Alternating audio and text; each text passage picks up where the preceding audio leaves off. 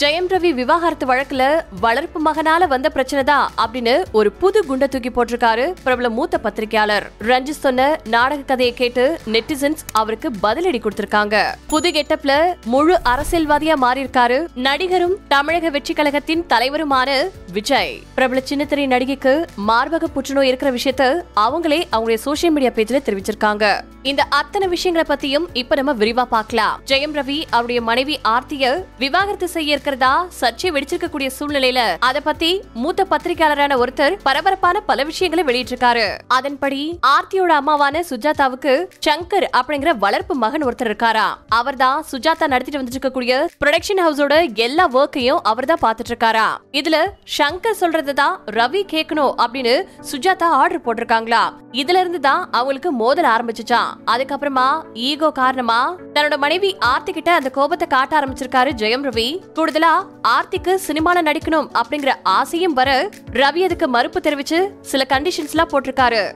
இந்த விவகாரம் தான் இப்போ விவாகரத்தை நோக்கி இவங்களை இழுத்துட்டு போயிருக்கு அப்படின்னு அந்த மூத்த பத்திரிகையாளர் சொல்லிருக்காரு தொடர்ச்சியா பிரபலங்களுடைய விவாகரத்து விஷயங்களை கேள்விப்பட்டு கேள்விப்பட்டு நீங்களா எதுக்கு கல்யாணம் பண்றீங்க? பேசாம சிம்பு மாதிரியே இருந்துட்டு போயிடலாம் அப்படின்னு சிம்புவை உதாரணத்துக்கு இப்ப இழுத்து பேசிட்டு இருக்காங்க. அதை பத்தின ட்ரால்ஸ் அண்ட் வீடியோஸ் எல்லாமே இப்ப சோஷியல் மீடியால ட்ரெண்ட் ஆயிட்டு இருக்கு. அதே மாதிரி நாடக காதல்னா என்னன்னு கேட்டதுக்கு நடிகர் ரஞ்சித் கொடுத்திருக்கக்கூடிய விளக்கம் இப்ப ரசிகர்களை கோபமடைய செஞ்சிருக்கு.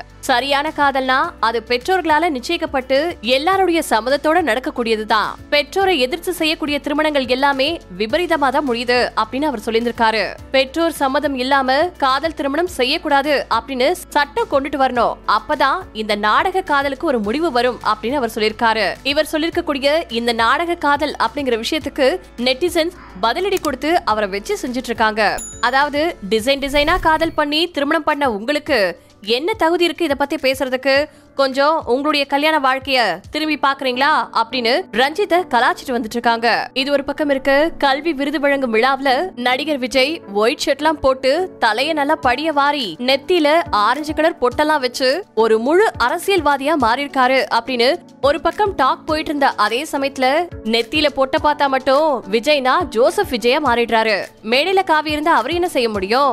நல்லது நடக்கும்போது அது கண்ணுக்கு தெரியறதில்ல. நலத்திட்ட உதவிகள் வழங்கும் போது ஒரு அம்மா வச்சு விட்ட பொட்டுதான் அது அப்படின்னு அதுக்கப்புறமா அதுக்கு விளக்கம்லாம் கொடுத்திருக்காங்க. ஏற்கனவே லியோ பட விழாவில் விஜய் நெத்தியில பொட்ட பார்த்ததுமே இவரு பாஜக தான்ப்பா அப்படின்னு அரசியல் சாயம் பூசினாங்க. இந்த சுச்சுவேஷன்ல அதே பேச்சு இப்ப திரும்பவும் கிளம்பிருக்கு அப்படிங்கிறது இங்க குறிப்பிடத்தக்கது. இதெல்லாம் ஒரு பக்கம் இருக்க ஹிந்தி சின்ன திரையில மிகவும் பிரபலமான நடிகை தான் ஹீனா கான். இவங்க ஒரு சீரியல்ல அக்ஷரா அப்படிங்கிற கதாபாத்திரத்துல நடிச்சு ரொம்பவே பிரபலமானாங்க. அதை தொடர்ந்து நெகட்டிவ் ரோலும் நடிச்சிருக்காங்க. இவங்க பிக் பாஸ் சீசன் எயிட் மற்றும் பிக் பாஸ் லெவன்லயும் கலந்துக்கிட்டாங்க அப்படிங்கிறது குறிப்பிடத்தக்கது. இவங்க சின்ன திரையில மட்டும் இல்லாம சோஷியல் மீடியாவிலயும் ரொம்பவே பிரபலமா இருந்தாங்க.